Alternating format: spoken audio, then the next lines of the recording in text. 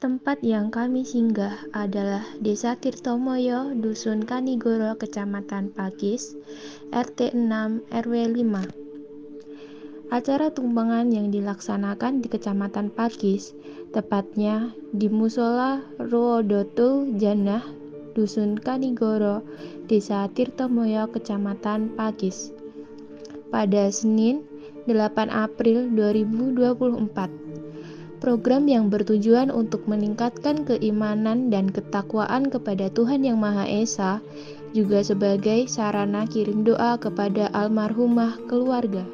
Desa Tirtomoyo merupakan desa dengan potensi kekayaan yang sangat melimpah, baik dari pertanian, peternakan, ataupun pariwisata.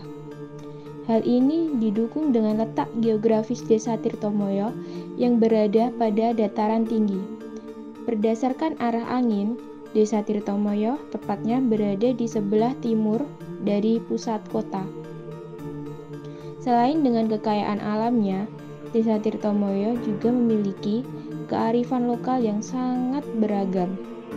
Hal ini dikarenakan masih banyak para sesepuh yang selalu menanamkan nilai-nilai budaya, juga kecintaan terhadap tradisi-tradisi di desa itu kepada anak cucunya.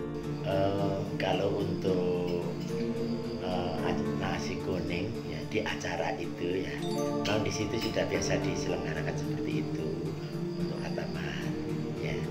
Jadi kita uh, tutup dengan ibu dengan satu jus yang terakhir. Nah, setelah itu doa, jenengan tahu sendiri. Jadi saya sambung dengan kemarin langsung tali Pak Jaya sejarah Pak ya itu doa bersama kalau mau untuk acara yang spesifik lainnya nggak ada